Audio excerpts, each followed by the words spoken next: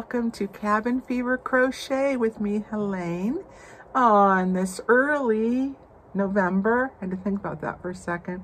Afternoon. It's kind of chilly, kind of mild. The sun keeps trying to peek in and out for a few seconds anyway. So hopefully we will be graced with that while I'm showing you the couple of things I got. Yes, I did. Let me tell you how this came about. So there's this little town north called Chewelah, and that is the town where I do the seasonal farmers market. And it's a small town. There is one stoplight through the town, under 3,000 population, although it is really spread out. Uh, but it's cute. It's such a cute town. It's kind of up and coming. Um, pre-COVID anyway, but it is coming back and there it's a very artsy town. There's a variety of nice little eateries there, unique, different. It's, it's like old cowboy western meets the artsy group. It's, it's a really nice mix in between. So there's this new little mini mall, and by that it's one building and inside there's separate rooms. And so the owner of that, she rents out different businesses and then she has some of her own. She does some consignment, gifts, a room with clothing, children's clothing, women's clothing, things like that. Oh, and she has a craft room too. And I picked up the calendars. Uh, they have craft night. And so anyways, I drove by, I saw one of those sandwich board signs and it caught my attention because there was the drawing of a yarn ball on there. And I'm like, what, what? She has yarn now. And my first thought was, oh, you know, maybe it's the commercial stuff. But then when I looked above the yarn ball, it said Homestead Yarn. So I really hoped this is going to be unique, an independent yarn shop. I walked in, and so the first room to the right had com was completely redone, and it is indeed a yarn shop. It, because it's one room, it's small, but the way she decorated it, it's so cute, so inviting, and she made such great use of all the space, really hands-on, terrific, outstanding customer service. She knows her products, and she does classes, and we had nice conversation. I did pick out a few things, and I know in my last video, uh, when I showed you my yarn room nook tour and I said that I'm scaling back and I really did mean that. It's just for my own personal thing. Other things we have going on around here besides just buying art. But I did say I will still buy, but I'm trying to really think about it more and make it count. And it's like, no, I don't have to have everything just because it's pretty and you know, that's not, not always easy to do, but I, I put on my behave willpower thinking cap before I went in and I had a great time. Did get a couple things. So I'm going to show you what I got at the end of the video. And then as we go through it, I'm going to show you the different yarns and describe some of them, what they are. Oh, and the uh, shop owner, it's called Homestead Yarns homesteadyarns.com. She does have a website. Her name is Darcia. I'm going to leave the link for that below. And as usual, anything else related that I, I mention and talk about.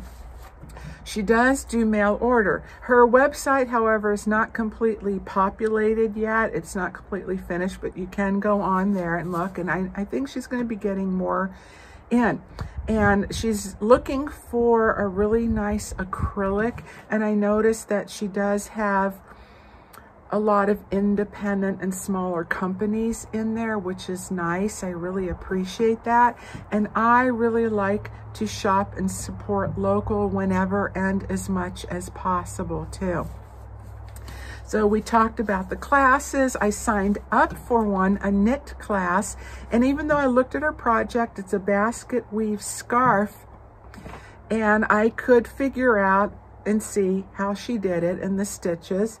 But I thought, you know, this could be a nice opportunity, a nice way to connect and interact with other people and to not only support what she has going on, that I could probably really learn something hands-on, maybe a different technique. And I like that we talked about her method of teaching, and I really like that she explains what we're doing and why and teaches tips and techniques along the way too. And that helps me understand. And that's why I use, do the same type of method with my own techniques, of course, with my own style, but when I do tutorials and teach. Oh, and then speaking of teaching, she remembered me because we met at the farmer's market the last day. So that was really nice. So she got an opportunity to see what I have. So she, we talked about um, possibly me teaching some classes there, which I would really enjoy doing. It just works back to a matter of time because I have been spread so thin for months. And that's why I've been behind in my tutorials and getting out my new patterns. And what I'm gonna really have to stop doing is giving any kind of dates and just put a ballpark out there because life happens, things come up, can't help that and have to prioritize what's what. And I've really had to put some time into catching up on life and important things that I have to do. All right, so, but I did sign up for classes. I thought that's going to get me out of the house. And especially before the snow starts flying, because roads can get pretty dicey around here, and especially that trek from here up to there when it's snowing and especially at nighttime. Can't see where the road lines begin and where they end and it gets super slick. So there is a class that I would love to take in the middle of the November and it's broken up into two for knit fingerless mitts and I think that would be really fun. Just sometimes when I need a little crochet break but still want to play with yarn. And that she did have a full-sized yarn shop in central, I think uh, south central-ish Washington state. I've been through there. It's called Kennewick and it was called Sheep's Clothing. So she, she sold the business and it's still there. So if any of you have lived in the Tri-Cities area, you know where that is. So she's the previous owner, Darcia of Sheep's Clothing and so now she's homesteadyarns.com and I hope she does really well. Now let's do the tour and then I will come back and show you what I got. And brr, whew, it's getting a little bit chilly. I'm gonna have to get a refill. When I first walked in, I realized I was kind of holding my breath, but I had no expectations one way or the other. And oh boy, was I pleasantly surprised. What a feast for the eyes in this wonderful cornucopia of yarn. And as you can see, she made such great use of every space, but without overcrowding at all. And this yarn right here, this is KFI Luxury Collection. It's a super wash wool. It's very soft, very smooth feeling. And it surprised me not being a merino superwash wool. So I was really happy with that. I love both colors. Speckled is one of my favorites. So that one is on my wish list. And then over to the right on this wall, that yarn on the top shelf again. Wow, wow, wow, wow. Really called to me. I'm not going to try to pronounce this right now, but they are paint yarns and they're named after that river in Chile. And it is extra fine merino and silk blend. It's a very fine number one. Absolutely stunning. The the hand to this the feel is out of this world. I mean it's amazing. It's absolutely amazing yarn and you get 545 yards 500 meters pretty incredible. That would go a long way. It's funny, I texted a picture to my friend Nancy and she asked, oh, so did you buy all five? I'm like, yeah, I wish. Um, and this, the Queensland collection, I'm familiar with this line, and this is 100% llama, I believe it says, llama yarn. This is incredibly soft too, really nice and then another Queensland collection here really nice variety of colors and this is superwash wool from Australia and it does have more of a woolly texture and for those who can wear that enjoy working with it it's quite nice it's it's too woolly for my skin but Oh man, aren't those colors incredible? The saturation. And this one, this creative yarn, it's a DK weight. This really caught my eye. The sheen to it, the way that it feels. this is a luxury blend of alpaca Peruvian cotton and modal, a plant fiber pulp, and then um, it's just so silky and smooth. The, the, the light sheen from the plant fiber pulp, similar what you get with bamboo. And it's very sleek feeling, and this is a DK. I believe that was 260 yards at 19.95 each, and the colors are wonderful. I think this would make an amazing, just on its own, um, incredible projects, and I'll get into a little bit more of that later. And then she has some Noro yarn, and this is more of the rustic wool type I guess uh, I would describe that where, you know, equivalent to what I would call it the woolly wool. But the colors, the self-striping, it's just amazing, the saturation. And over here in the window, she has some uh, sparkle type of yarn that you can mix in. Now here's the Ella Rae yarn, and then she also has some in the chunky as well. And then this couture yarn is 100% cotton and it has an interesting ripple texture to it. And it's a number three weight. It says a light number three but it's uh, I think a little bit thicker and due to the texture. It would work up a little bit mm, more thicker ish because of that. And I think it was for specific because it is very cottony. It has that bite to it but I want to go back and try that. I have some ideas as far as I think it would make great summer hats and I'm going to try that at some point and let you know how that works out. Something where you need that bite and need the texture and something to hold its shape. Now aren't these absolutely adorable, these knit stitch markers by ChiaoGoo? I must have picked those up and looked at them at least three times. And then up on top, the tippy top there, she has two sets of the ChiaoGoo interchangeable needles. I should have had her go ahead and open them to show you if you haven't seen them. They are amazing. The cords are incredible, so flexible, they're unreal. Now this alpaca, this 100% by that uh, same company I showed you a minute ago, oh my goodness, that is some of the softest alpaca I have ever felt. And over to the left behind me on this shelving unit have some Rae. I'll get back to that in a minute. And then on half in the second and then the third shelf down, this is another Queensland collection Brisbane. It's Australian superwash. It does have more of that bite, that texture to it. Really beautiful though, and the more of the ombre marled self-striping. Wish I'd taken a picture of the sample of the fingerless mitts for that class that she is making. The way the colors work up are incredible something to keep you warm for sure.